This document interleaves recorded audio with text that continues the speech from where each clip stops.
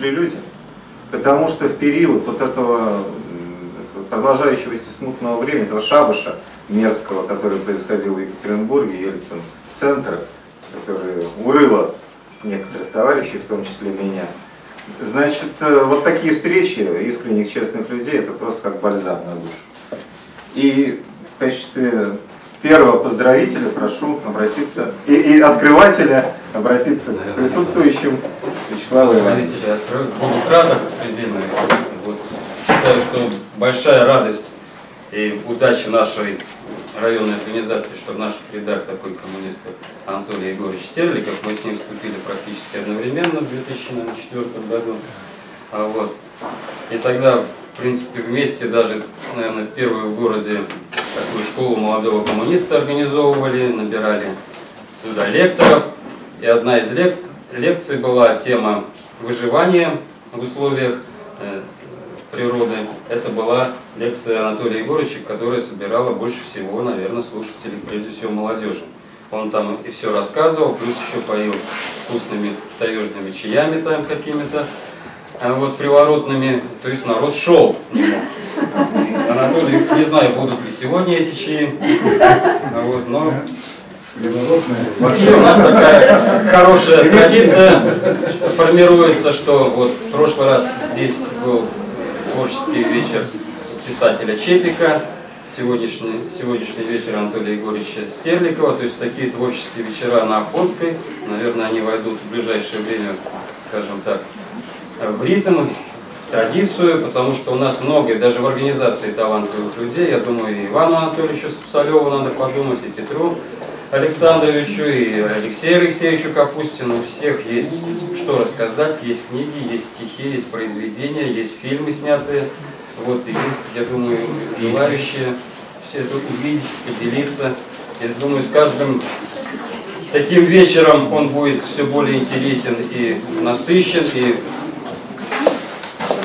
удачи на нашему вот этому начинанию, которое, конечно, э, заслуга прежде всего, я скажу ответ Алексею Михайловичу Пугачеву, это все-таки его идея, вот так, такие вещи практиковать. А вот, молодец. Поэтому будем работать. Анатолию Егоровичу пожелаю сегодня очень яркого, хорошего вечера.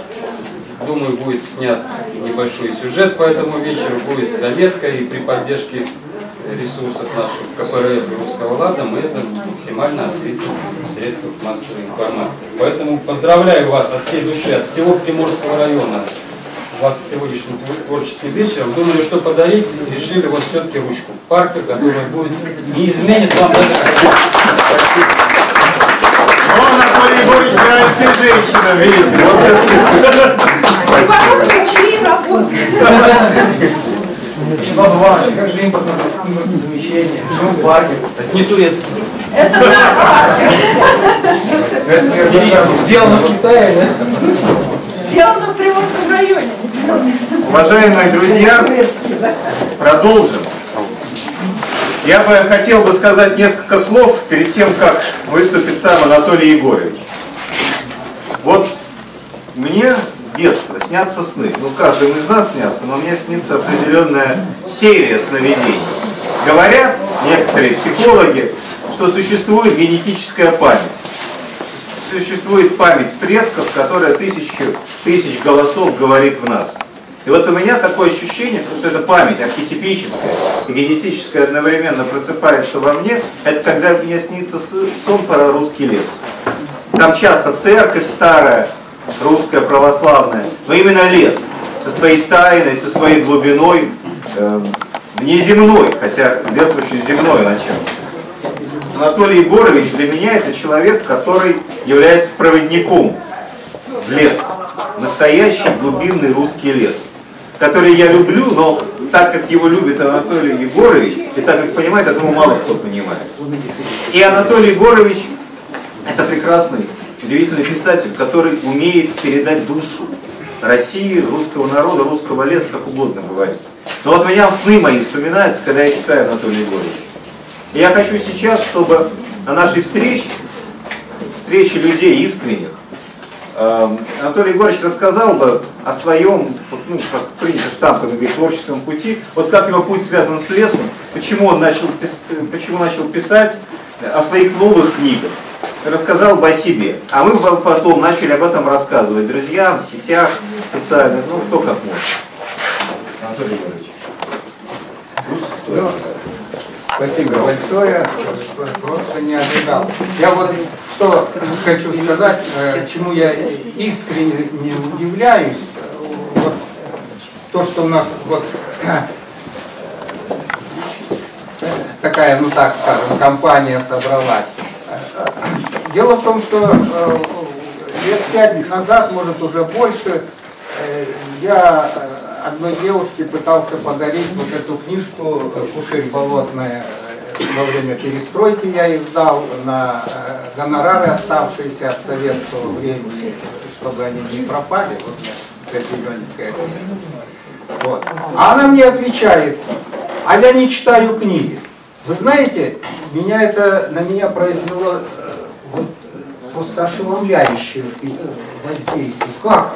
Вот молодая, девушка не читает книги. И ладно, ну, всегда были такие. Ну, чтобы вот так просто, искренне сказать, я не читаю книги. Вот в советское время, ну, невозможно это было представить. Вот.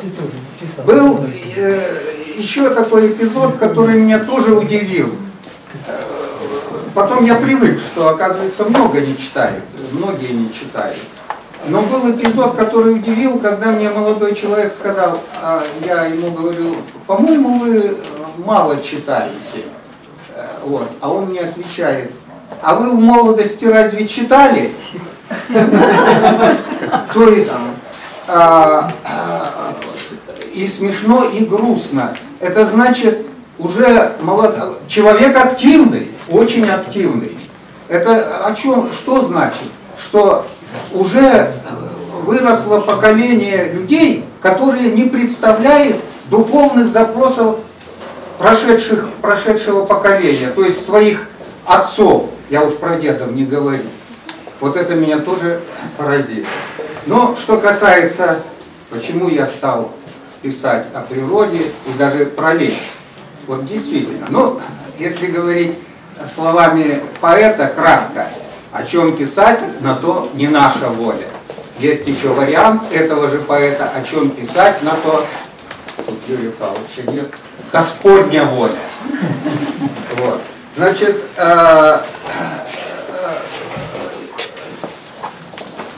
есть, э, ну, так скажем, литераторы, писатели, поэты, и ставшие, кто-то остался графоманом, а кто-то получил известность, которые писали, можно сказать, э, ну, как только научились читать и писать, выводить буквы, они тут же стали поэтами. Э, знал одного литератора, который к 20 годам, уже вот в наше время, э, написал 20, 17 книг. 20. Вот. А один э, отставной полковник мне сказал, что он когда я с ним завел какой-то литературный разговор, он так высокомерно на меня посмотрел, спросил, сколько я написал, ну вот у меня тут немного. Он говорит, а я, после, выйдя в отставку, написал 50 книг. Вот. То есть, э, вот э, есть что-то такое, что вот тоже меня удивляет. То есть, это есть люди, которые в принципе, видимо, не понимают, что такое литература. Ну, а у меня получилось так. Э, я э, после окончания университета, уже после службы э, на флоте, поработал даже на шахте в Воркуте, вот, и поступил в университет, прямо с шахты я поступил в университет. И по окончании работал в Ленинградском речнике. Была такая транспортная газета, она распространялась там, где плавали речные теплоходы. И э, работа была хорошая, интересная, писал очерки, э, репортажи. И, но тут однажды мне брат написал, что вот э, родная река наша, река Чу, э, э, высохла примерно на протяжении 500 километров превратилась в пустыню. Река Чу, я сразу скажу, она э, берет начало на Тяньшане, в Тирскей, Алатау. И, э, э, ну, кто карту еще помнит, в районе Иссыкуля. Вот. И э, течет на запад, и э, в песках теряется, в направлении Байконура она течет. И там э, заканчивается сухими руслами. Я как узнал об этом, что такая экологическая катастрофа, бросил работу в Ленинградском речнике, поднялся на мы с Петровичем, вот прообраз э, э, это, вот, одного из персонажей, вот, а это э, и реально существует этот человек, вот он э, это, не смог, к сожалению, сегодня прийти. И он, э, мы с ним поднялись на Терские Алатау к истокам реки, потом спустились на плотах, на байдарке, а в конце уже на машине по барханам, конечно, мы на машине моего брата, вот, э, на, название его было Чигарак, а э, так вот это что-то вроде антилопы гну, вот из э, знаменитого нашего фильма. Вот.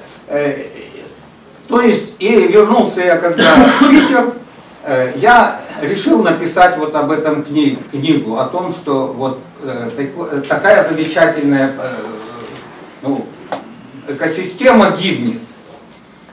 И знаете, мне все говорили, да, кто тебя напечатает, да ты что, вот. А, но э, гидрометеистат было такое, а может быть оно и сейчас есть, но в то время это было хорошее издательство – Взяли у меня рукопись, подготовили, э, вот, э, и э, даже аванс выплатили. Ну и все было в порядке, набрали, сделали набор, и перед тем, как выходить тираж по советским законам, э, или правилам, или по обычаям, как угодно сказать, цензура читала. И когда цензура прочитала, а цензура всегда перед, перед тиражом читала, она в рукописи не читала никогда, никаких рукописей. Вот. А, и цензура узрела там э, ересь политическую, книгу и приказали рассыпать, и ее рассыпали. Вот такое было катастрофическое начало у меня. Значит, но дело в том, что э, э эта катастрофа меня, э, у меня не только руки не опустились, может быть, если бы книгу я издал, то, может быть, я на этом бы и успокоился и снова бы занялся э, журналистикой ушел бы. А здесь меня это сильно задело. Как это так? Ну как это так? Я пишу правду, э, э, вся редакция со мной согласилась, э, и вдруг нет. И стал я эти, эти все главы отдельными очерками распубликовал, я понял, долго я добивался, писал письма, даже Леониду Ильичу писал. Вот. Ну, мне потом редакция все время в редакции говорили, слушай, э, значит, ну, я был молодой, э, Толя, ну, э, вот ты ничего не добьешься, а нам все время, ты вот, мы тебе зло принесли. Я говорю, нет, ну как же, вы первую рукопись, сырую рукопись взяли и подготовили. Ну вот, нам за это все время, после каждого твоего письма, э, значит, э, шею мыли почему вы довели, если бы они сразу отказали, то все бы было в порядке. И э, я тогда вот стал, э, перестал, и отдельными главами стал, э, эту книгу распубликовал в Неве, в Звезде и в журнале «Вокруг света». И в отдельных сборниках потом, вот, «Хочу все знать», в детских сборниках.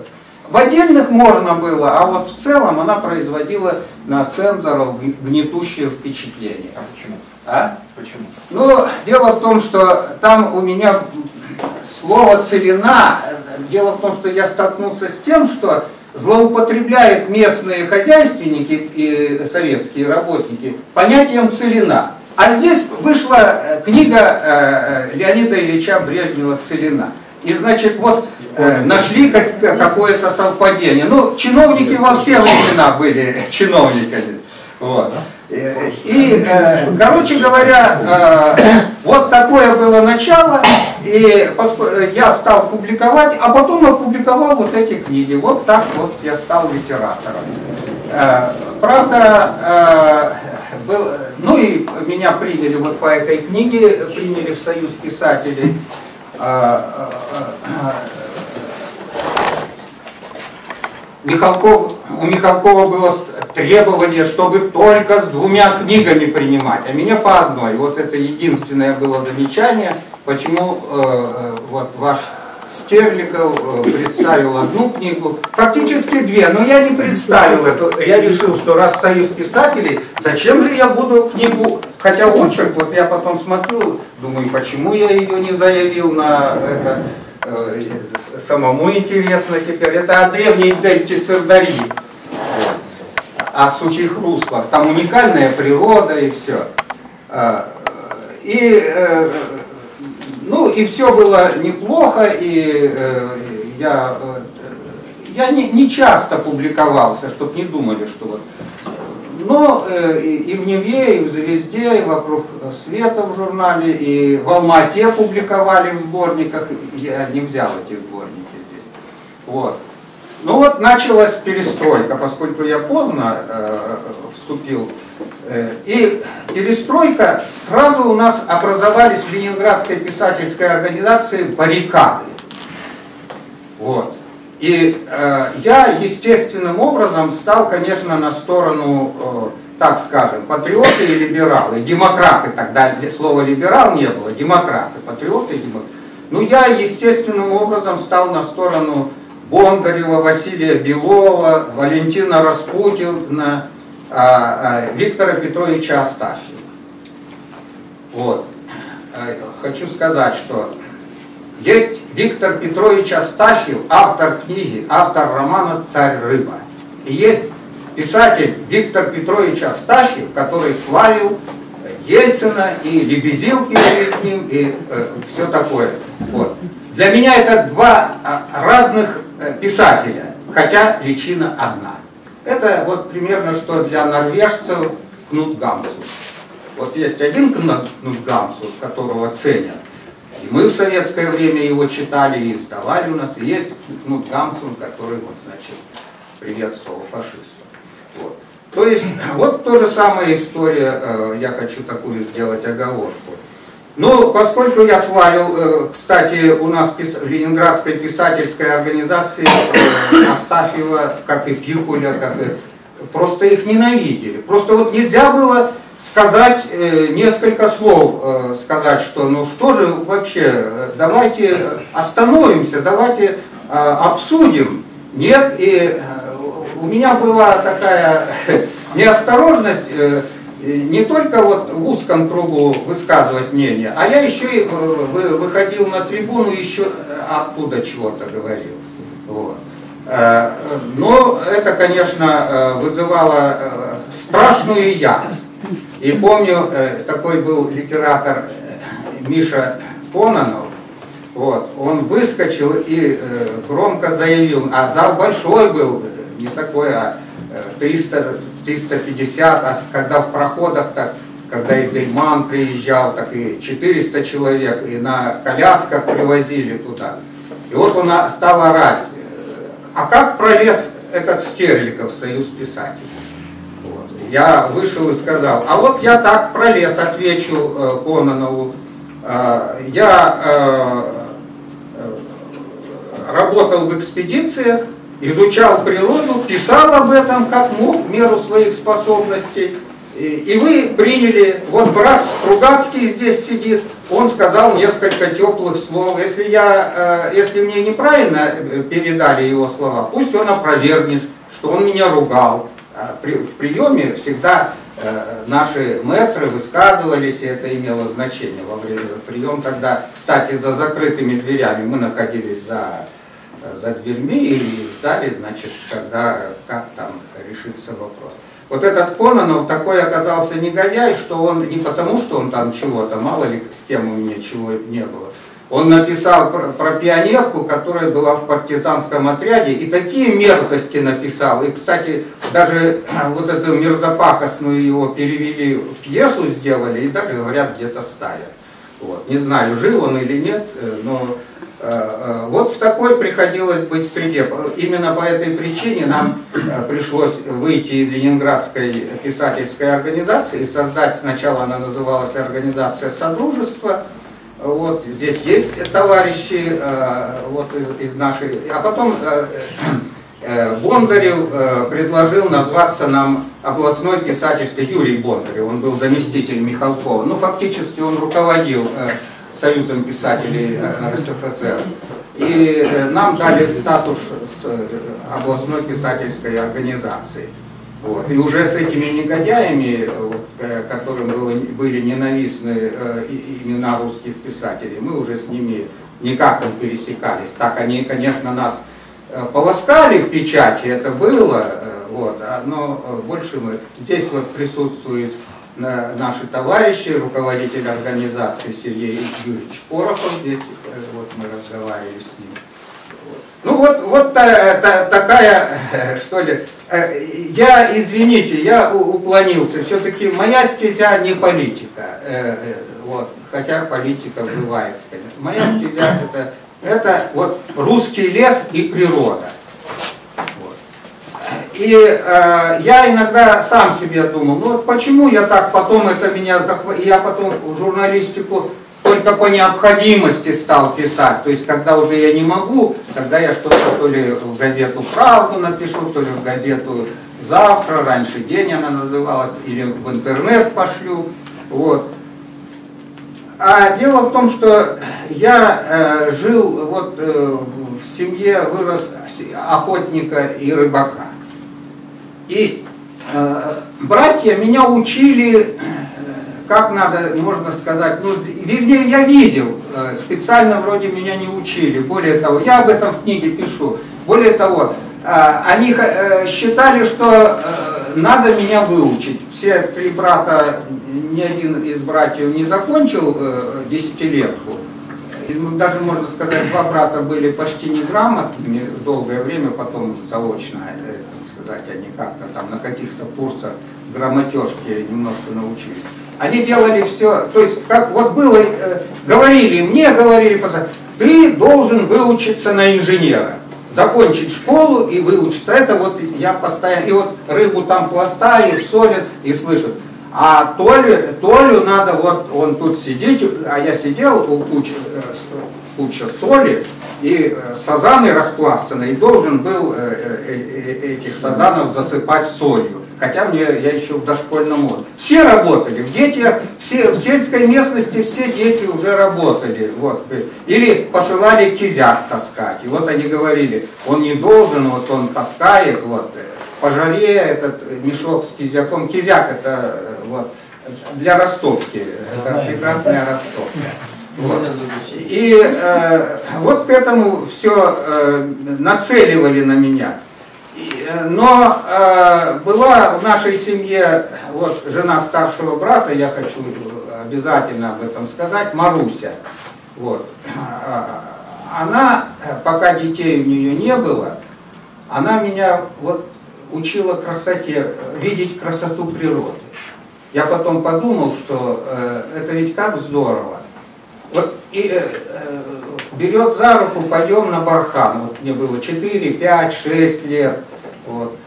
Пойдем и э, вот смотри, какие тюльпаны, как пахнет. Дело в том, что степные тюльпаны, особенно песчаные, они необыкновенно пахучие. Даже на расстоянии запах чувствуется. Вот. Другой раз она принесет какую-то необычную черепаху. Обычные черепахи это с, с черными панцирями, а необычные желтую где-то найдет. Тащит, дрова тащит и черепаху тащит мне, принесет, вот тебе гостиниц. И вот, э, или в лодку посадит и э, давай, вон смотри, там, э, я еще плавать не умел, я где-то только в 6 лет научился плавать. Вот. Да, в 6 лет я уже переплывал узел самостоятельно. А, а пока не, в лодку посадит и а, где кувшинки, вот она показывает, что вот какие прекрасные кувшинки. То есть вот я считаю, это счастье, что вот э, эта молодая женщина, она учила меня видеть красоту природы. Потому что многие видят прекрасную природу, а э, красоту не понимают. Э, не все, я вот убеждался, что, к сожалению, не все. Но мало ли кто из, мало ли кто жил в лесу, в степи, в прекрасных условиях, на берегу какого-то озера. А стал ни поэтом, ни писателем, ни музыкантом. А, вот, ну, вот. А, хотя, может, в душе, э, да не может, я встречал таких э, э, людей, которые вот понимают красоту вот, природы. Дело в том, что я все-таки учился в советской школе. Чем, э, что такое русский язык и литература? Уже родная речь, там были э, отрывки в родной речи, это то есть дошкольная программа. Там уже были произ... Э, отрывки из произведений Тургенева, Толстого, Пушкина.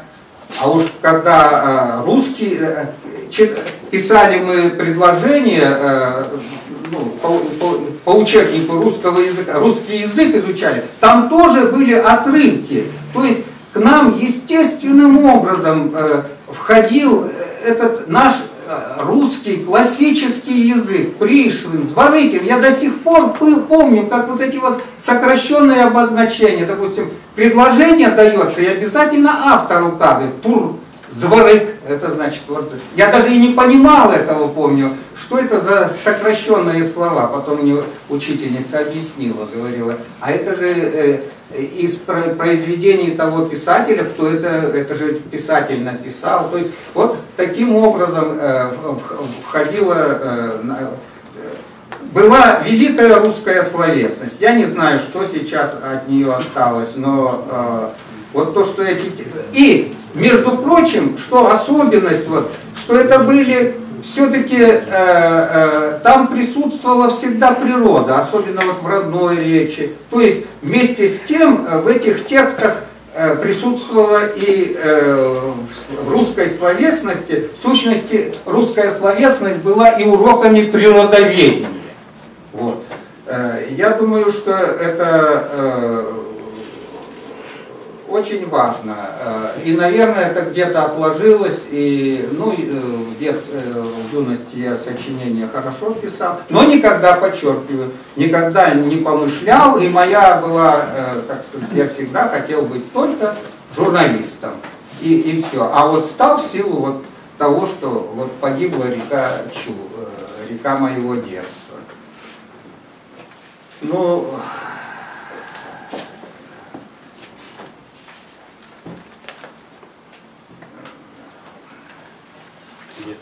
Вот э, тут я еще э, хотел сказать, что э, важный момент есть.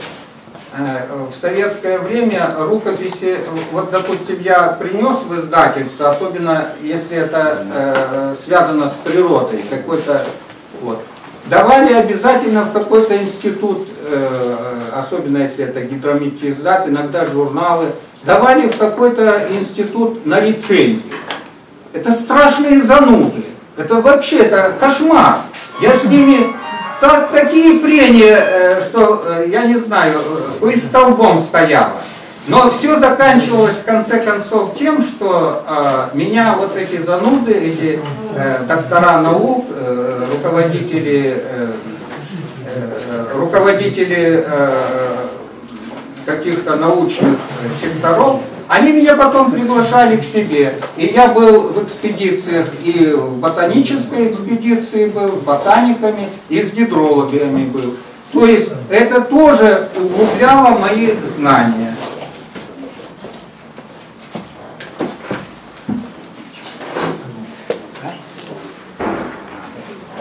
Ну и теперь э, пришло время сказать, конечно, о, об этой книге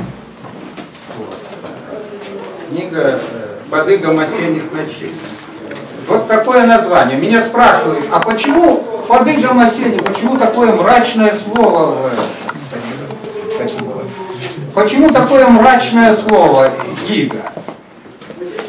А я скажу, и под игом осенних ночей расцветает душа человеческая. И под игом осенних ночей, и под солнцем жестоким пустыни расцветает душа человеческая.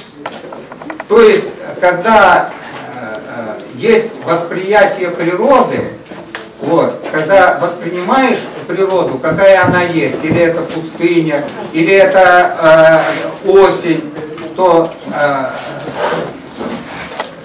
вот э, все равно человек живет, э, вот, э, душа его живет и расцветает. Вот смысл примерно такой. Конечно, пересказывать книгу, это дело даже, я считаю, глупое, как это, надо читать.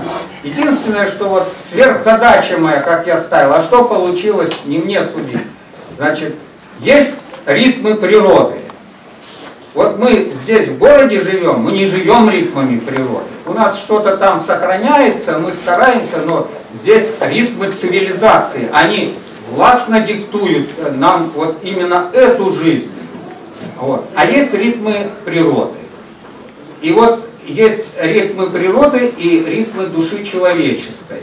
И э, вот это как бы такое художественное исследование э, соотношения ритмов природы и ритмов души человека. Как это все отзывается, как вот э, человек, э,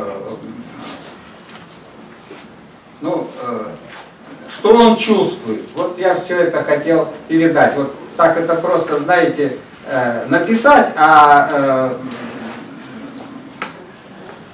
как получилось, уж не мне судить.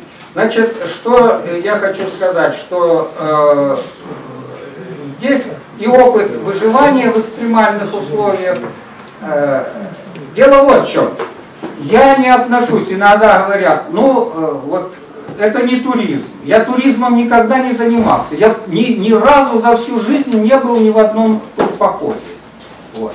А если я э, был, э, э, вот, э, ну, один раз я целый месяц путешествовал, э, однажды целый месяц по пескам Муинпум.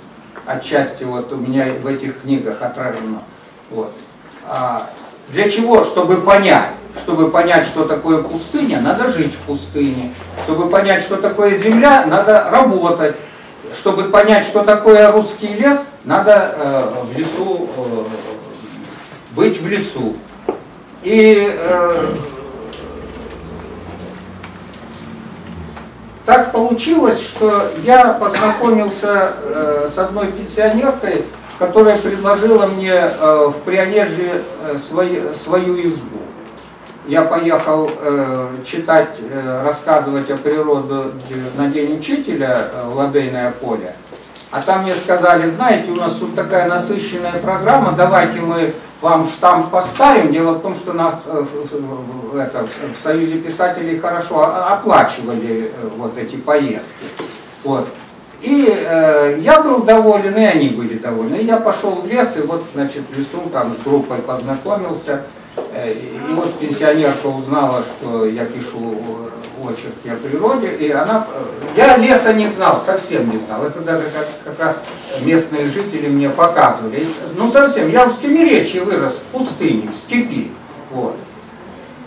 Э, а тут, значит, вот у меня дочь здесь присутствует, Арина Анатольевна, здесь она, и Валентина Васильевна здесь, моя жена. Мне, э, э, Арина как-то болела все время, а э, Валентина Васильевна говорит, ну вот ты любишь э, э, природу, ты поезжай там на болоте, привези хотя бы литра два э, клюквы. Я, я сначала не знал даже, как собирать эту клюкву, так же, как с брусникой. Вот. Но местные жители меня все это научили. И я так втянулся, что стал жителем э, э, вот, э, купил избу в Прионежье и стал жить там. И вот э, э, там появилась у меня инстру, инфраструктура выживания. То есть, э, что это такое? Я вот э, об этом вот, в этой книге, э, нет, э, по, по выживанию. Вот она. Ага, да, да. Вот. Э, значит, э, я об этом пишу. Да, собственно говоря, я даже здесь. Да нет, я просто показать хотел, что если хочешь что-то набрать, грибов, клюквы, брусники, ну любой ягоды, вот, нужно, чтобы у тебя там были, были тропы. Нужно, чтобы можно было на ночь где-то остановиться, то есть, чтобы какая-то будочка была, или смог шалаш построить и жить в этом шалаше, или чтобы была бревенчатая берлога, есть такое, называется стан, то есть небольшой, э, небольшое помещение. К сожалению, мы не можем показать, есть видеоматериалы э, в интернете, Ну вот не получилось у нас с проектором, с, э, с ноутбуком, а так бы можно было показать вот такие. Это вся, так скажем, инфраструктура с тропами и с, с, с лесными вертепами, она в интернете есть. Здесь автор этих видеофильмов, вот, э, товарищ Краснов, Петр Баранов, вот он снимает как раз сейчас. Вот. Так что э, э, вот следствие того, что я э, постоянно там э, жил, и вот решил э, об этом рассказать читателям. Я как бы, меня, знаете, иногда обидно, что вот я вижу, я один, да, собираю, э, там, допустим, э, огромный прекрасный мох, кругом холмы, покрытые э, э, лесом, и я не могу никому об этом показать. Вот думаю, ну почему со мной нет, вот моей дочери нет, например. Она раньше со мной ходила, а потом, когда вот теперь взрослая, не так-то просто вырваться. Вот. И вот всегда было вот это желание что-то как-то рассказать. Я как бы чувствую иной раз послом природы. Ну вот это все и диктует, и в результате я написал эту книгу. Ладыга Масеник. Спасибо, Анатолий Григорьевич, за рассказ. Сейчас у нас будут вопросы и выступления. Я вот сейчас хочу слово предоставить э, Ольге Яковенко, которая подарила цветы Анатолию Егоровичу. А перед тем, как предоставить слово, скажу, знаете что, вот, э, вот называется «Подвигом осенних ночей», но вот это не просто так, а, как психолог, несколько слов, буквально ремарку. А, Есть такое понятие в психологии «точка пяти часов». Эта точка – самое темное время суток. Как бы страшна не сама смерть, как бы страшно умирание. А проходим через 6 часов, поднимаемся наверх. Анатолий Егорович оптимист. Он встречается иногда в лесу, ведь бывает и одиноко, да, вот хочется кого-то передать, как вы сказали. Но он проходит буквально через самые, э, может быть, зябкие, тяжелые переживания, ночные, и выходит с солнечным светом, с оптимизмом. Вот эта книга про осень, она оптимистична. Она о том, что можно пройти через скляскую, склизкую осень, через ноябрь и встретить весну через э, белизну снегов, прийти к весне и к потоку и к жизни. Вот это я так понимаю для себя. Да, да. Вот эту вот жизнеутверждающую тему Анатолия Егоровича. Ольга. Ну, я тогда с места, поскольку у нас здесь так много собралось, что не, не выйти.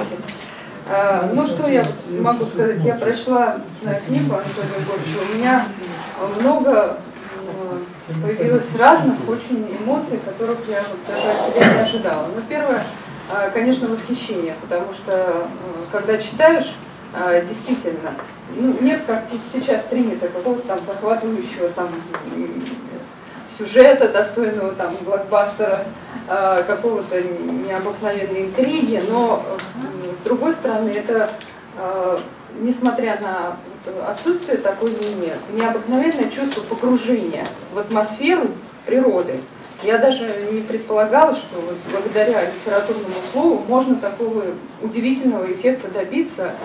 И мне казалось, что на меня ну, не может это произвести, произвести такое сильное впечатление, как это произвело, когда я эту книгу открыла, особенно когда я хорошо знаю Анатолия Егоровича много, больше 10 лет, а, как э, своего товарища, он сказал, что он э, не политик, далек от политики, но на самом деле это не так. Анатолий Егорович, конечно, боец. Когда он вот берется за что-то, он настолько искренний человек, что он считает своим долгом а, донести свои мысли, свою правду до всех, буквально до каждого, кого он встречает. Это а, очень редкий дар. А, ну, второе э, чувство, конечно, каждый человек, наверное, в какой-то степени эгоист, и я испытала, конечно, зависть. Не, зависть не к литературному таланту, я по- поймала себя на мысли, что если бы я вот умела так а, говорить, как Анатолий Егорович пишет, я бы, наверное, сделала все-таки большую карьеру в политике. Я позавидовала, честно скажем, признаюсь откровенно. Ну и последнее, конечно, одно из главных чувств, я испытала радость от того, что в нашем вот коллективе, э, среди нас, в Приморской районной организации, которая в нашем городе, э, есть человек, э, который при, настолько вот профессионально и лично состоявшийся, настолько цельный, как Анатолий Егорович Стерликов. Потому что э, бывает зачастую, что люди приходят э, вот потому что чувствуют как-то свою ущемленность, при, э, чувствуют, что вот они что-то недополучили от жизни, э, и считают, что вот они придут, и э, где-то это будет, они возьмут что-то для себя. А Анатолий Егорович э, такой человек, который приходит делиться вот, действительно со всеми, своим талантом, э, своим профессионализмом, любыми своими навыками, своими мыслями, вот, частью души своей, действительно готов поделиться с каждым. Это удивительный дар, за который мы ему очень благодарны.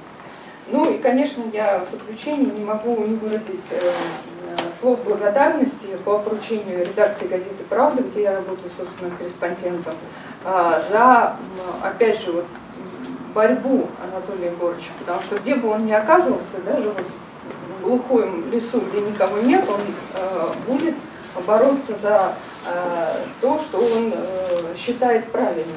И он как не сказал об этом, это упущение, может он еще скажет, именно за э, борьбу э, против уничтожения этого леса, который сейчас вот идет, к сожалению, полным ходом, и даже в таких глухих местах, где Анатолий Егорович живет, там и туда э, наша капиталистическая реальность трагическая, она пробирается, и даже там он, э, ему удается с этим бороться, вытаскивать туда чиновников, добиваться, чтобы работали наши фракции в Государственной Думе, и местная фракция там в законодательных органах власти пишет и борется за сохранение своего леса.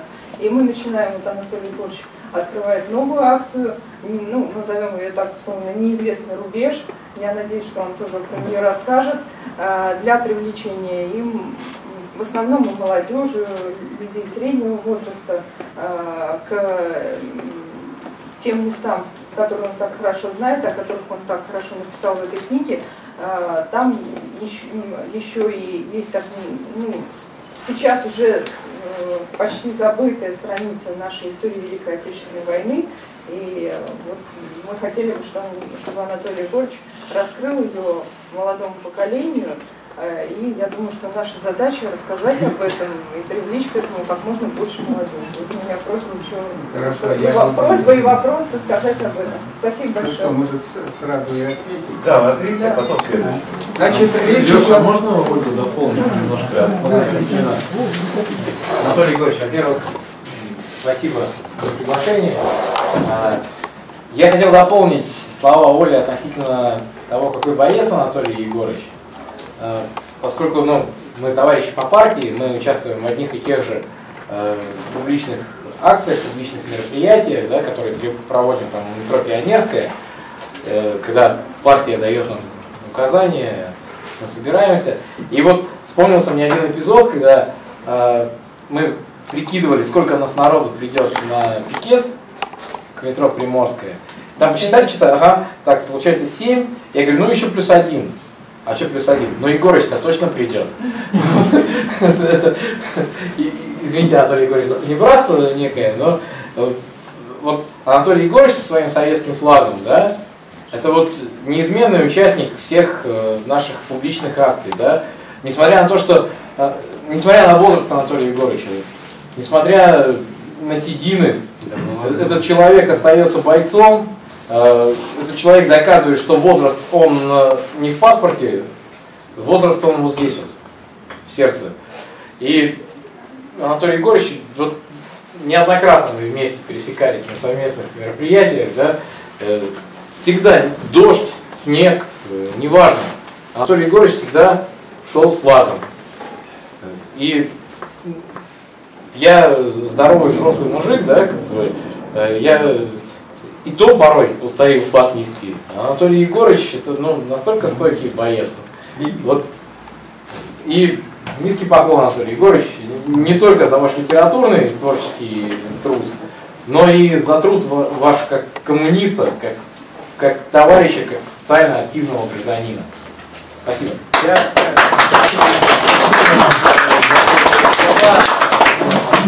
Я... По поводу того, что Ольга Владиславовна сказала, речь идет о Бошкинском рубеже.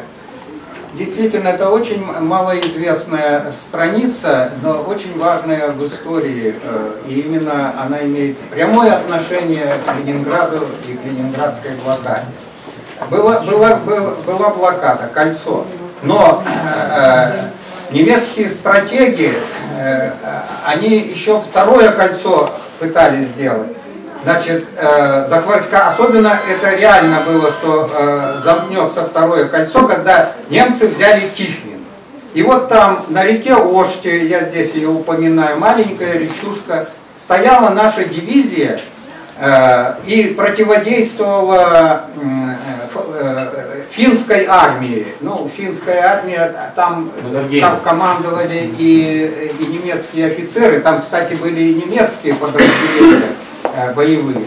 И они вышли на, э, и здесь их вот на левом берегу Ошты э, остановила э, сначала одна дивизия, а потом появилась 382-я сибирская, сибиряков. Кстати, в Вологде и в э, Вытегре формировались как раз э, наши дивизии, которые должны были защищать Москву.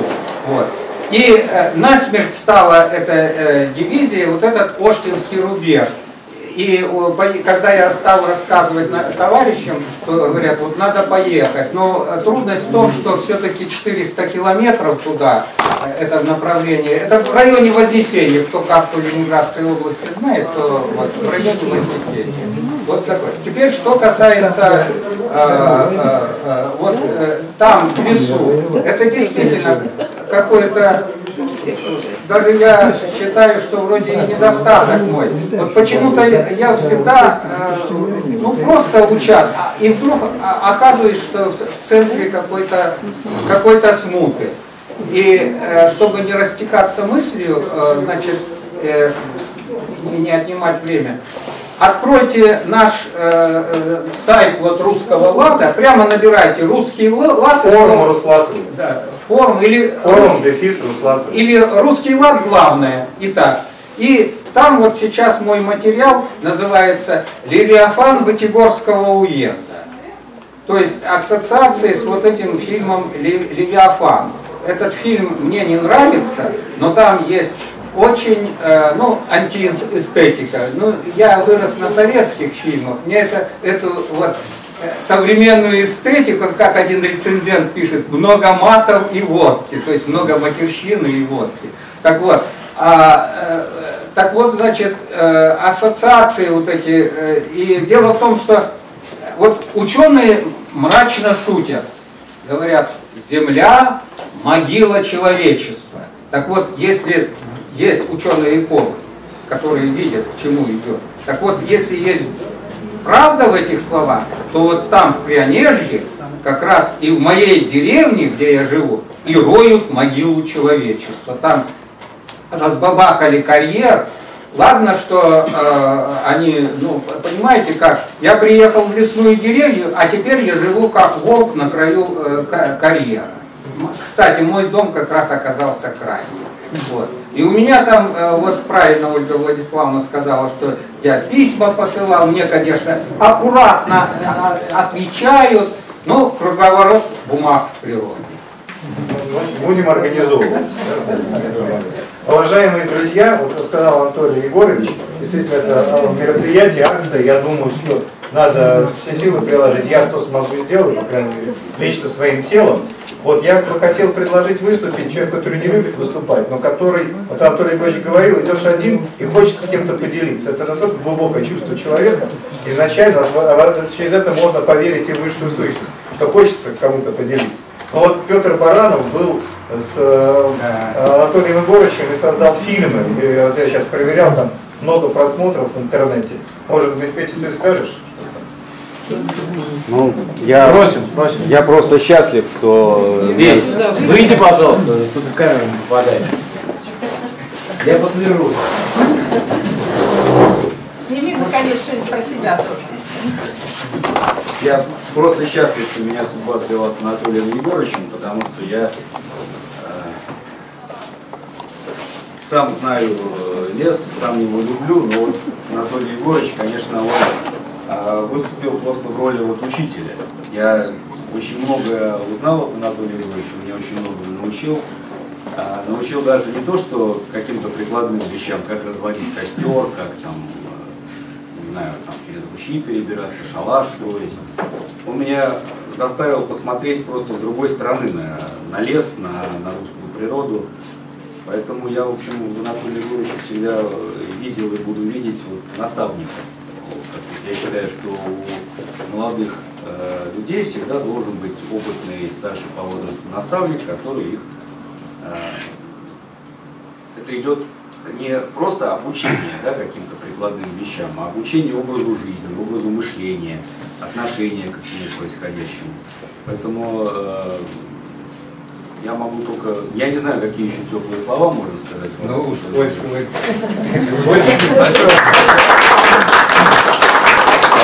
Я хочу э, добавить, что я в свою очередь э, научился. Вот. Э, как в условиях, в полевых условиях, если есть или мисочка, и, или котелок, или, ну не знаю, что-то такое, положить грибы, вот, ополоснул их кое-как, я раньше стала, старался отваривать. Они там превращались в, киши, в кисель. Кто возился с грибами, знает, что это так. И потом я этот кисель вынужден был нести э, или съедать, давиться. Или... А тут, оказывается, он мне показал. Вот, а я этого не знал. И я приехал и жене говорю, Валентине Васильевне, вот она, наверное, слышит. Я говорю, слушай, меня Петя Баранов научил, как готовить грибы, значит, положил, и они путем испаряются, и постепенно, а потом э, эту э, тушенку вскрыл, и сало туда бросил, и все. Ну, если нет, то просто так подсолил, да и съел. В, э, в полевых условиях, э, как угодно. Она говорит, а сколько я тебе об этом говорю? Уважаемые друзья, да, грибы, кстати, это отдельная тема. Не буду ее продолжать. Значит, э, вот э, сказал сейчас Петр относительно наставника, и я не могу не дать слово моему крестному партийному отцу, но я думаю, не только моему, а человеку, который, я думаю, что может очень много сейчас нам сказать про Анатолия Егоровича, Анатолий Романович. Ой, Александр Романович знаете, краткая сестра талант. Я говорить много не буду, потому что много желающих сказать. Дорогой Анатолий Егорович, я еще буду говорить, так что присядь. Все-таки не настолько. Наши предки, напомню, спаслись лесом. Татаро-монголы выжигали всю Русь. И Баты, перед ним Чингисхан, было много других. Но каждый раз все как по волшебству снова отстраивалось потому что лес спасал. А теперь мы его предали. Кроме, все предали, кроме Анатолия Егоровича. Это вот аллегория, да, но тем не менее я один из тех многих, кто был в этих витигорских лесах, которых можно называть глухими лесами, и скажу честно, я еле унес оттуда ноги. Это было что-то. Он до сих пор говорит, я всем показываю. Вот здесь тонул Александр Романович, показывает на болото. Так что я имею свое впечатление о тех местах заповедных. И знаете, чем я горжусь без, без уже многие годы, уже целый ряд лет. Когда я оттуда бежал, как немцы из-под Москвы, я оставил Анатолию Егорычу в наследство свои красивые, новые, резиновые сапоги. Они простые, со шпорами, чтобы было удобно их снимать, там такой есть упор. И когда меня встречает Анатолий Григорьевич, говорит, Романыч, я до сих пор хожу в твоих сапогах. Теперь серьезно. Знаете, вот я тоже имею огромную библиотеку, но из всех книг я имею три книги, которые в любое время откроешь, в любом месте, и не можешь остановиться, читаешь. Назову их, может кому-то понравится. Первое, это еще с детства Ярослав Гашек, «Приключения бравого солдата Швейка». В любом месте открываешь и просто наслаждаешься. Потом меня обрадовала книга Ильфи Петров «12 стульев и золотой теленок». Тоже в любом месте и просто шедевр. Наконец, «Тихий дом». Это по-серьезному. Это действительно красота. И вот в воскресенье начнется многосерийный фильм. Я что-то с недоброжелательством его жду. Думаю, наверное, испортит. Боюсь этого ужасно. После Глебова и Быстрицкой видеть другого Григория, другую Аксинью просто боязно. И вот на старости лет я открываю книгу под игом бел осенних ночей в любом месте. И вдруг чувствую старое свое впечатление. В любом месте читаешь, и не хочется бросать. В любом. Вот проверьте те, кто эту книгу вот купил или получил, в любом месте. Это признак великого мастера. Вот с этими словами я и закончу свое краткое выступление. История вот такое. Нурсултан Назарбаев просил передать и самолетом прислал ветку хлопка из тех мест, где было детство нашего Анатолия Егоровича. Так что храни. Спасибо. Нет, серьезно Назарбаев? Друзья мои, остается не так много времени, есть желающие высказаться, я думаю. Я предлагаю сейчас установить регламент, поскольку времени у нас на официальную часть остается не так много. А, буквально минута, регламент минута. Вот я вижу, что Максим Михайлович в нетерпении. Максим Михайлович, минута, прошу. чуть-чуть побольше будет. Вот, уважаемый Анатолий Егорович, очень приятно действительно вот листать вашу книгу. Время будет. Вот открываю на странице 16, читаю стихи Николая Рубцова, которые вы изволили, так сказать, процитировать. Откуда только, как из-под земли взялись в жилье из сумерки и сырость, весь ужас ночи, прямо за окошком, как будто встанет вдруг из-под земли. То есть то, что вы процитировали, э, и то, что вы пишете, это наша русская традиция, потому что мы нация лесная, наши русские общины выходили из леса, наши монастыри, в том числе Сергий Радонежский, многие монастыри делали в лесу, и это очень хорошо, что вы, как активист русского лада, как активист Компартии Российской Федерации, как русский патриот, государственник, в своих книгах пишете о природе, о э, национальном самосознании, о нашем русском духе.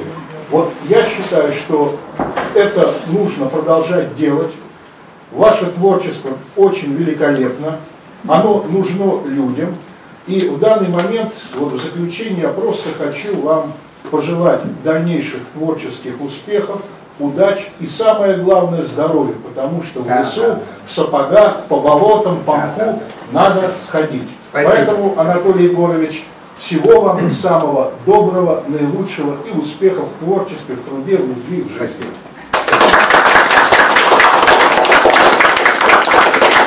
Еще бы хотел бы Я сегодня сказать, мы сейчас вступили в полосу, Анатолий Егорович, когда против России ополчился весь мир. Мы единственные, может быть, противопоставляем себя, свой дух миру.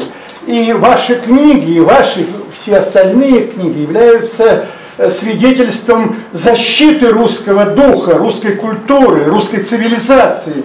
Мне представляется, что главная задача сегодня каждого живущего на земле и наверняка каждого коммуниста включиться в эту борьбу, в защиту наших, наших ценностей.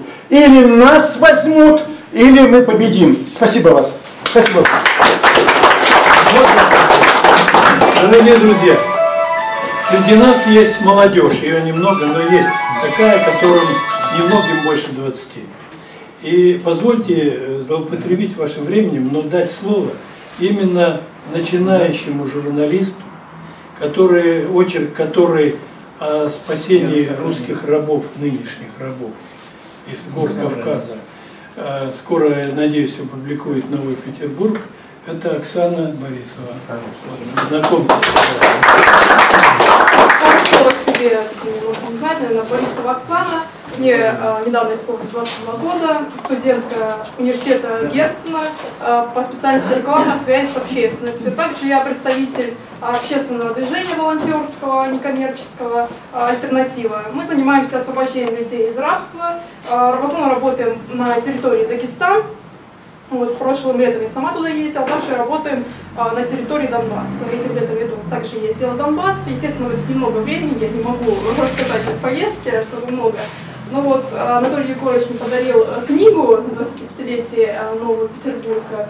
Вот. Большое вам спасибо, потому что я считаю, я сама со Старопольского края, приехала учиться в Санкт-Петербург. А русский лес, это, конечно, ну, наверное, какое-то особое, его сложно. Русские леса, наверное, сильно отличаются, наша русская природа от э, природы других стран. Это, не знаю, какой-то особый русский дух. Но у нас на Кавказе, естественно, там еще и горы, а, про них тоже, наверное, отдельно можно писать, и стихи, и какие-то произведения. Но я очень, да, я очень часто с друзьями, у нас тоже много там активистов, также националистов русских, мы часто а, ходили, ну и ребята сейчас ходят в горы, там на Бештау, а, в горы в Кисловодске, там, ну небольшие такие горы есть. Также ходили с ночевкой в наши леса. Там, ну, очень красивые места, и если бы там не были, конечно, хотелось бы, чтобы посетили, что очень красиво. Ну, также я здесь была в Ленинградской области, мы тоже ходили, зимой, правда, это сугробы. Вот, да, это... да, это сугробы, болото, там все остальное. Он очень, да, очень красиво, и я очень люблю природу. Ну, спасибо вам, конечно, за книгу. Я показала своим ребятам знакомым, они, ну, им очень понравилось. Правда, еще не, не, ну, не прочитали, конечно, и не успели, но... Так я подпишу, вы им передадите. Хорошо. А, ну, ребятам очень, ну, как посмотрели, были очень... Не уходите. Хорошо. Ну, все, я думаю, время не будет. Смеется над будущим журналистом. Есть вот еще, Анатолий Александрович Чепляков. Э, врач Анатолий, Анатолий Александрович. Кто не знает, вот этот человек всю жизнь своей русской душой положил свою жизнь на то, чтобы спасать людей. Это врач-реаниматолог с 40-летним стажем. Скорая помощь 45 лет. Э, товарищи, суть какая? Сейчас, в общем-то, очень хорошо вот, ну, перекличка идет. Александр Иванович, конечно, опередил нас всех, уже побывав Анатолия Егоровича. Я думаю, что чтобы почувствовать все-таки корни наши и страну, и леса, откуда мы вышли, мы должны туда вернуться хотя бы на один день, или на ночь. И, в общем-то, может быть, это поможет нам как-то ощутить и ответственность нашу, в том числе.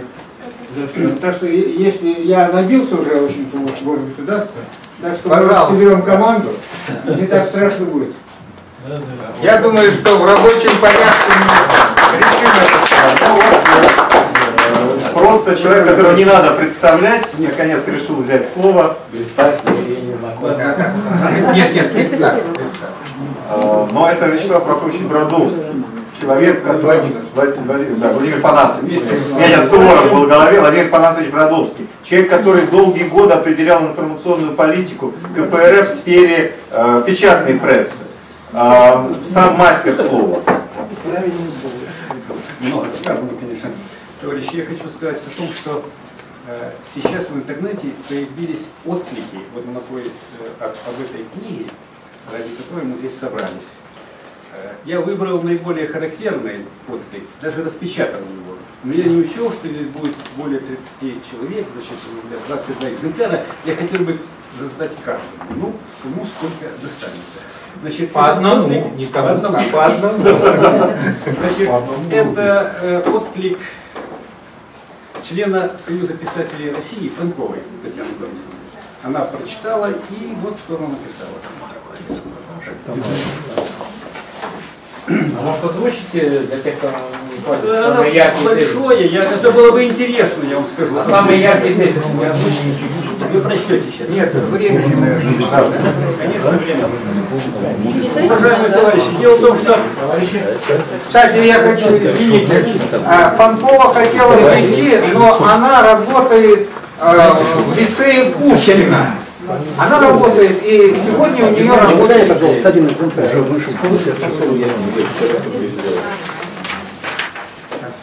Ладно. Значит, уважаемые товарищи, вот я считаю, что все творчество Анатолия Григорьевича делится на две части. Первая часть это э, советские его повести, их, наверное, порядка восьми. Значит, и все они пронизаны тематикой э, романтики и путешествий. Ну, это действительно замечательное э, явление. Вот. Но, когда читаешь эти книги, сразу э, появляется мысль о том, что писатель больше думает о о взаимоотношениях людей с природой, где эта черта, за которую переходить нельзя, после которой э, природа может отомстить человеку, и э, чревато это, конечно, очень серьезными последствиями. Что касается меня, я пытался в меру сил помогать Анатолию Егоровичу чисто технически. Вот эта книга «Записки лесного жителя», ну, без, переступив через себя, я вам скажу, что это моя весна. И я рад и вот что помог выпустить такую интересную газету. Книгу, да, Значит, что касается этой книги, тоже интересный момент. Первое. Когда стал вопрос о том, чтобы ее напечатать, ну, естественно, следующий вопрос, а где взять деньги? Значит, было решено сходить к одному из высоких руководителей наших, не буду называть его фамилии. Он прочитал эту книгу и сказал, отсюда нужно убрать два из первых. И тогда, возможно, мы бы деньги выделили. И Анатолий Егорович, несмотря на то, что были тяжелые времена, и денег, в общем-то, не было, отказался от такой помощи. Так что же это за эпиграф? Первый из них – это слова Че Гевары из политического завещания. Они звучат так. Борьба будет длительной, беспощадной. Передовая линия ее будет проходить через укрытие партизан в лесу. Нас толкают к такой борьбе, и у нас нет другого выхода, кроме как решиться на нее и готовиться к ней. Возрождение национального духа, подготовка к решению более трудных задач, к сопротивлению более свирепым репрессиям. Вот. А далее, сохранение этой. Вот что есть Анатолий Егорович. Будь он не говорит, что значит, от политики старался уходить. От нее невозможно уйти. Особенно в наше время, вот так называемого капитализма и первичного периода накопления капитала и так далее. Но мне кажется, этот период никогда не закончится. Это будет до бесконечности. И все свои, весь свой талант бросил на то, чтобы защитить русский лес. Это не просто, это его выражение, оно уже сейчас гуляет по всей России, но русский лес обретает какую-то э, ощутимую, ощутимое понятие. Я хочу вам сказать еще о том, что э, волею судеб Анатолий Егорович оказался в русском лесу, там, где э, зарождалась государственность Руси, древней Руси. Это Приволжские и Прионежские леса откуда Олег, значит, следующий после Рюрика князь, пошел на юг, значит, организовал, э, точнее, э, захватил, начал присоединять славянские племена, и потом пошел дальше, и в конце концов остановился на Киеве, даже, кстати говоря, ходил в Византию, где Царьград. Царьград и так далее. Поэтому говорить о том, что, что, что нет такого понятия русский лес там и прочее, и самое интересное, что сейчас говорят о том, что нет якобы цензуры, что сейчас нет якобы идеологии в стране. Нет, она все есть. Печататься можно только тогда, когда печатном издании нужно вылить ушат грязи на нашу историю, на советское прошлое. Все, тогда печатать. Печатается Ванидзе, печатается Млечин, и вся эта раз все печатается на государственные деньги, на гранты и так далее. Значит, ну найти деньги на то, чтобы напечатать книгу, талантливый писатель. Вот. Ну а что касается книги, ну, это чудесная книга. Я хочу сказать не о себе, а вот здесь сидит моя жена. Она вчера вечером взяла эту книгу и утром закончила.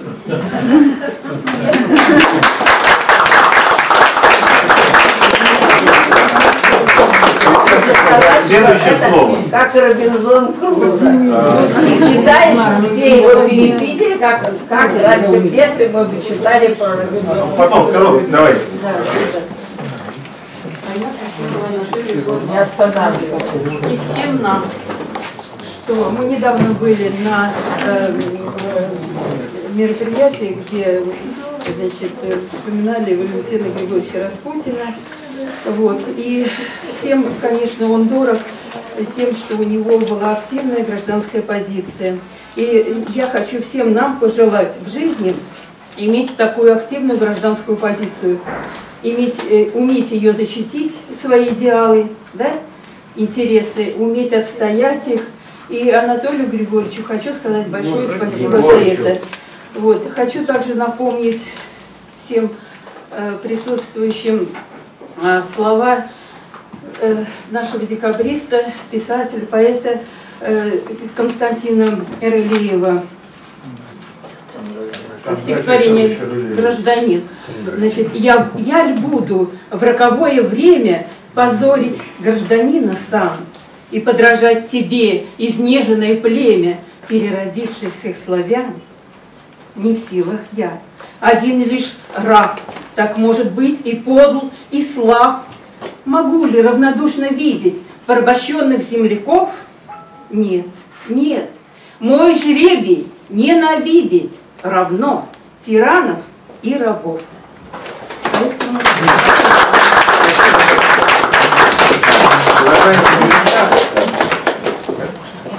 хочу сказать, э, что э, те, кто освещает сегодня э, данное мероприятие, нашу встречу, я глубоко убежден, мы сделаем так, чтобы вот те слова, которые здесь прозвучали, они максимально широко были распространены среди тех, кто живет. Не так мало людей, которые живут, кто не мертв. Вот Иваныч еще хочет добавить. Да, я тут дополнял Ольгу. Сейчас хотел бы просто вот от себя сказать. Вот э, не готовился заранее к встрече. Мы с Петром Барановым, который уже ранее выступил, выходили покурить.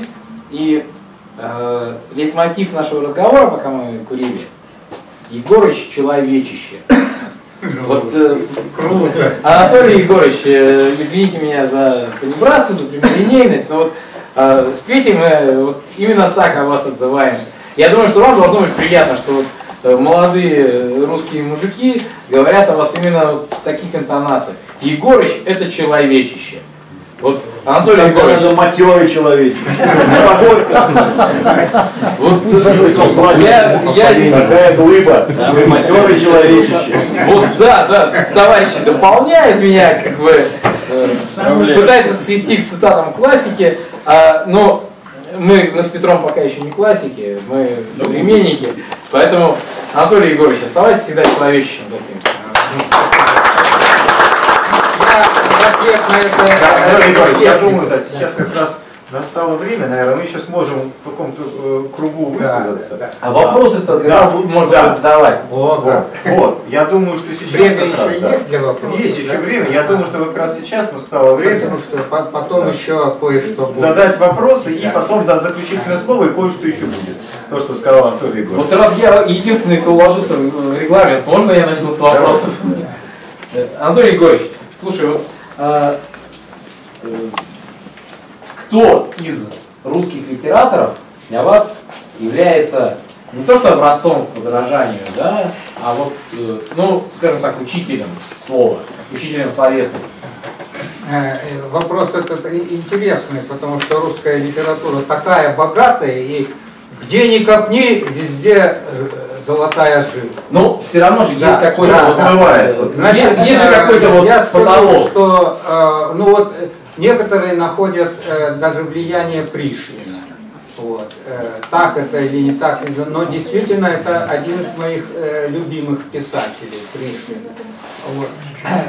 Но что мне, но, но я пишу по-другому, уже по по простой причине, что когда Пришвин жил, тогда не было этой жуткой проблемы э, судьбы русского леса.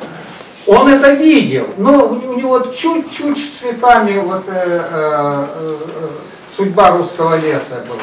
Тоже есть замечательный писатель, я думаю, что мало кто его сейчас знает, Зворыкин, Николай Зворыкин. Сейчас больше знают Зворыкина э, э, инженера, а был замечательный. Причем насколько он был э, изумительный э, знаток природы и владел э, пером, что э, когда э, Пришвин э, встречался с, каким-то событием, которое описано Зворыкин, что такого быть не может, но если Зворыкин об этом написал, Пришвин верил, что так может быть. То есть о жизни животных. Он был по, так скажем, по образованию охотоведом.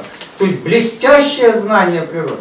Безусловно, э, э, я скажу, что мне близки и зарубежные, да, Бунин, Бунин, безусловно, это писатель, которого я перечитываю, читаю, перечитываю, ну, а э, Пушкин, э, мы росли, э, выросли на Пушкине, что здесь говорить?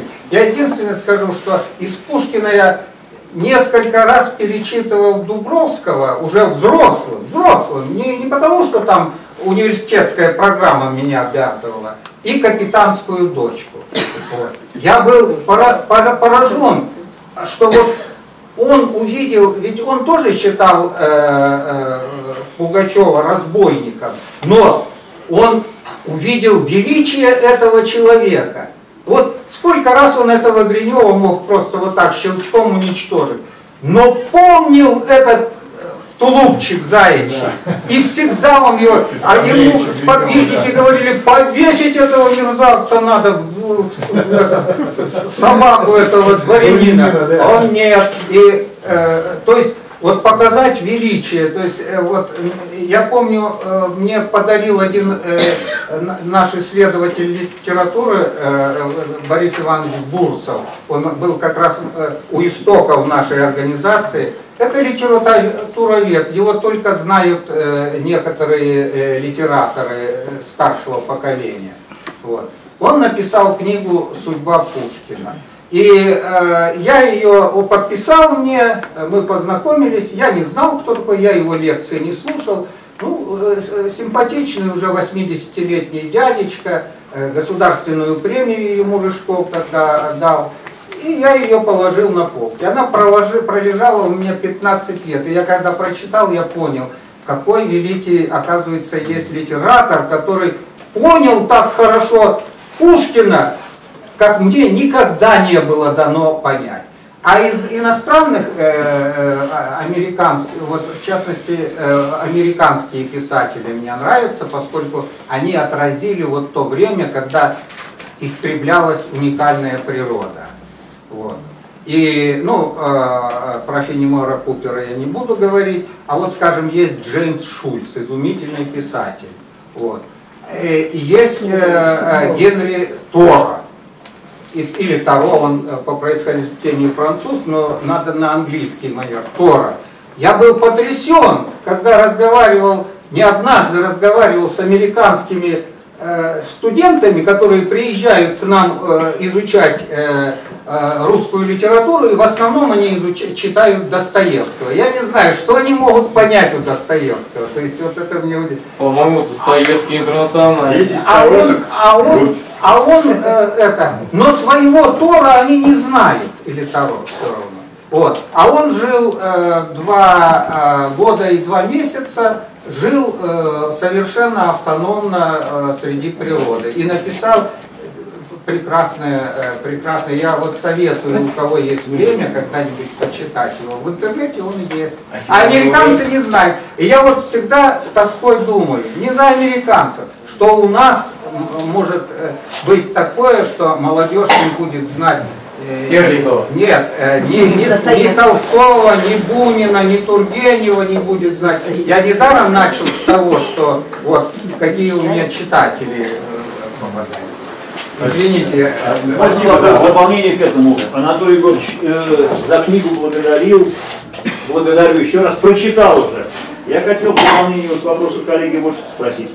А таких э, числите ли вы в предшественниках ваших, именно в теме русского леса, э, того же самого Достоевского, Леонида Леонова, русский Ну, лес, конечно, да? Ну, Достоевский я немного расширю, да, ведь он одним из первых наш- начал писать именно о том, что безлесят Россию, что мужички освобожденные, среди них появились кулаки, и вот эти-то мироеды, им наплевать, Да, да, покупают у дворян обнищавших и под корень, говорит, сводят эти леса. И что же, говорит, мы останемся скоро в пустыне? Так там березок не будет посечь, хотя, говорит, посечь, наверное, останется. На розги-то березок оставят. Э, Родитель за русский лес. Э, Леонид Леонов вообще молчу. Э, Роман, главы, э, вот это заповедь, скажем так, лекция, да? Числите ли вы э, своих предшественников в этой Ну, теме? Ну, безусловно, э, ру- русский лес, э, я просто не могу всех перечислить. Ну, например, Аксаков, я имею в виду Сергей Тимофеевич. Вот. Но э, его э, тоже я пере- не однажды перечитывал, э, его э, Детские внуки. да, Багрова детства. Вот эти Детство Багрова внука, да. да, да, да, детство. Заметки об ужении, заметки об, об, об- об охоте. Это просто чудо. То есть всех-то сразу не перечислить. И я вот говорю, а сам думаю, а вот э, э, я занимаю время, а что же это? это? Да, а Анатолий Егорович, у меня к вам А русский, что касается русского леса сейчас, вот Леонов впервые э, в советской литературе, если, скажем, э, Пришвин хорошо писал, философски даже осмысливал, у него и цвету- и цветочки осмысли- осмыслены, и, допустим, ну вот, корень жизни, это самое лучшее его произведение. Вот можете, ничего не читайте Пришвина, а корень жизни прочитайте. Уважаемые друзья, я вижу, что уже немножко наша беседа, официальная часть, э, чувствует ожидания неофициальной, но прошу терпения. Прошу терпения. Буквально еще 5-10 минут мы перейдем к неофициальной части. Вот, прошу тишины. Да, у меня, у меня вопрос э, к вам, Анатолий Егорович. Вот э, читаю вашу книгу, э, и э, там у вас описание про лесные озера, про глухарей, про траву, про мох, про болото.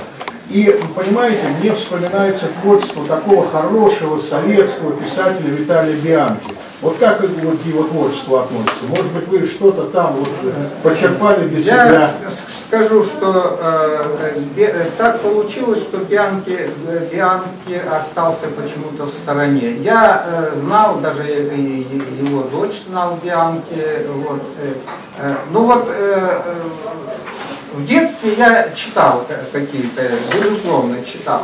Вот.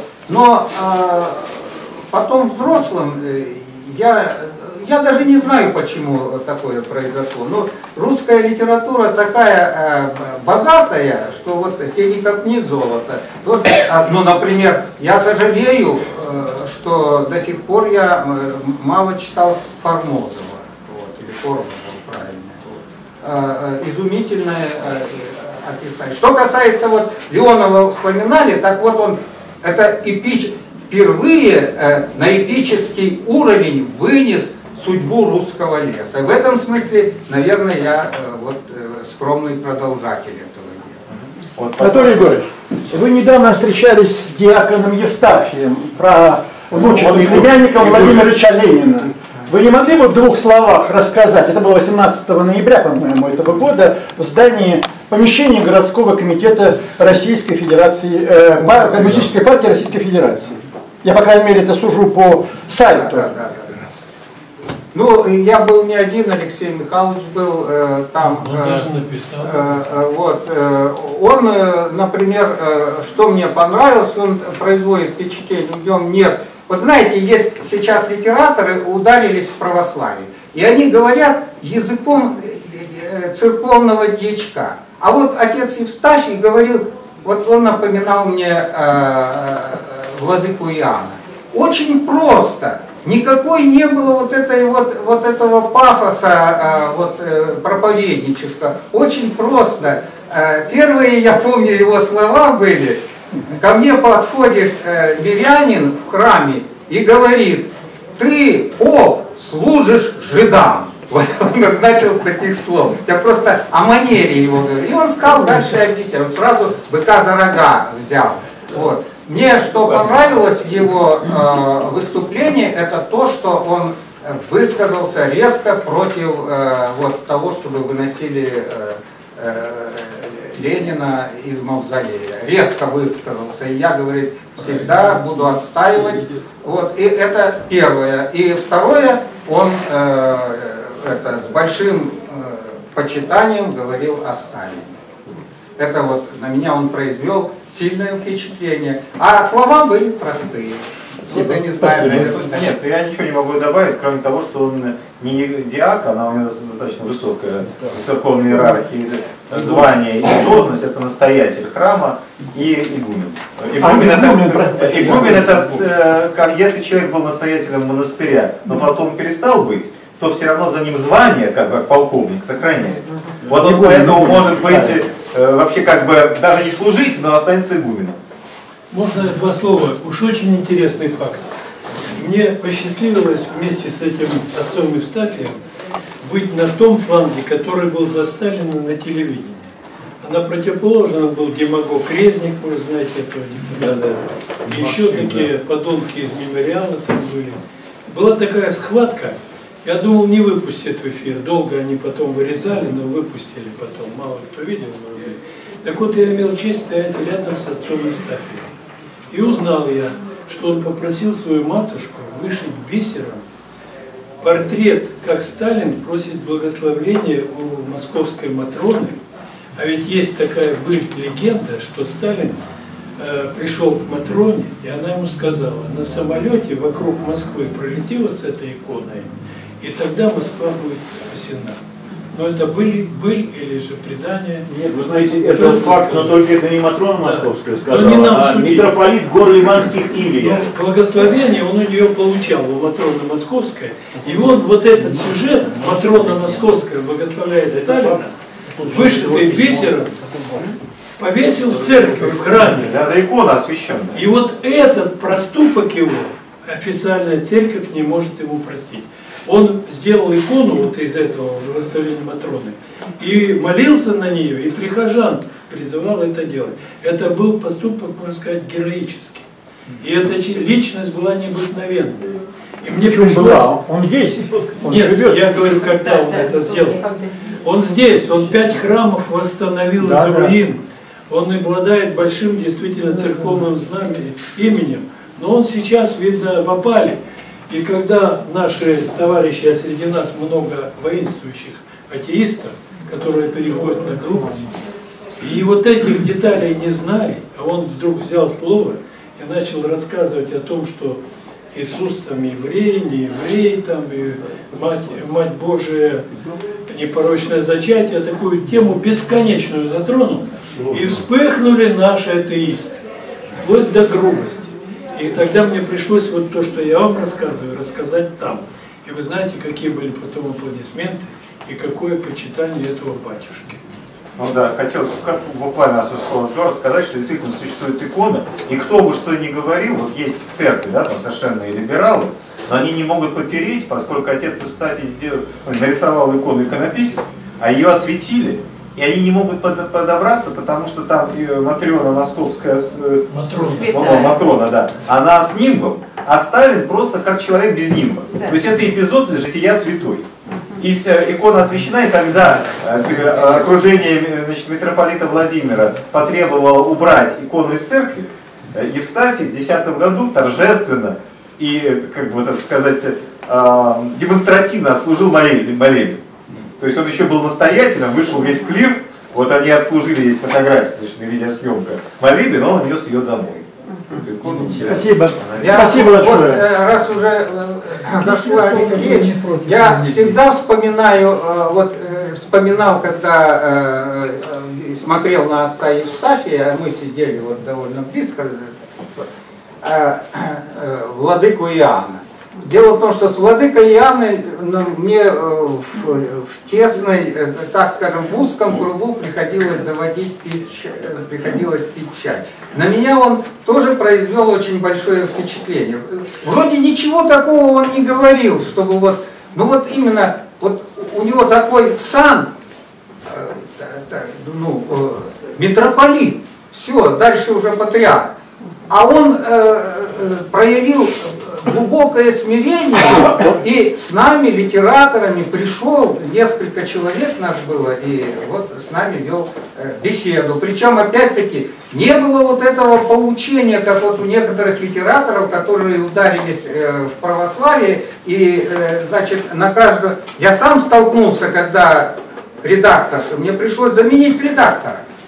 Я заплатил деньги за то, что она мне мою рукопись э, э, исчирикала своими замечаниями. То есть э, учила меня, значит, э, жить, да. Вот, с точки, вот, ей, ей не про- я там, э, причем я э, канонов православия не касаюсь, я о лесе пишу, я рассказываю о родниках, об источниках местночтимых, о том, как они почитались э, э, до революции, что там вот и э, то есть вот насколько как у нас э, люди, э, а ведь это советский был редактор, обычный советский редактор. То есть вот э, я к чему хочу, что хочу сказать, что среди э, э, православных и даже высших верхах есть люди, которые умеют говорить человеческим языком э, с, э, с людьми и которые понимают жизнь э, человеческую. К сожалению, э, э, в левом движении, так скажем, не будем говорить, что только это в КПРФ. Это есть и в других, э, что вот, вот это непонимание, они все одним цветом, а вот они такие всякие, а если наши верующие э, это, э, товарищи ходят в храм, да еще пытаются что-то там сказать, вот это нехорошо, это совращение какое-то. Ну, Я вот, я, ну, прямо скажу, я, может быть, не атеист, но я, э, э, я сомневающийся. И э, произведение э, «Материализм, империализм, критицизм Ленина» я читал очень внимательно. И для меня это не, потому, что это я же взрослым читал. Сдать экзамены можно было не, не читая. Учебники были хорошо написаны, можно было первые, но я прочитал внимательно и потом перечитывал. То есть, но э, я считаю, что э, э, есть среди православных, и в том числе в верхах, люди, я надеюсь, что я больше не знаю никого, я только двух знаю, вот, которые не лишены понимания того, как люди живут, не лишены понимания социальных проблем и не лишены понимания того, что коммуни... за коммунистами, у коммунистов есть своя правда. Уважаемые друзья, подошло время к неофициальной части, но я что хочу сказать. Вот в психологии, на которую я упираю э, нередко, есть такое понятие э, синхронистичность. Э, Это когда некие события соединяются в смысловом, э, э, по, по- по смыслу, что не объяснить с точки зрения привычных причинно-следственных связей. Вот Анатолий Егорович человек, который соединяет русское, с чего мы начали. Тем мы завершаем сегодня. Э, И, и как это отзывается с точки зрения синхронистичности. Вот мы говорили про игумена Истафия, говорили про отца Иоанна Снычева. Вот, а э, игумен Истафий оте- э, ученик, Ученик. э, Иоанна Снычева, и более того, монашеский пост э, по его личному благословению принят. А, Это к слову, насколько вот иногда бывает совпадение смыслового плана. Вот Анатолий Егорович человек, который соединяет русское начало и ничем не, не уступает совести ничем. Это очень важно, ему надо, вот мне надо у вас учиться лично, это я скажу вслед э, за остальными. Все друг О, Да, уважаемые друзья, я думаю, что вопросы, которые еще есть, мы сможем задать в неофициальной части, на которую, если я правильно понимаю, нас Да, да, да, Анатолий да. Егорович. И не А, только я, и э, Валентина Васильевна, э, вот, Семья, да, да, Анатолий и Алина Анатольевна.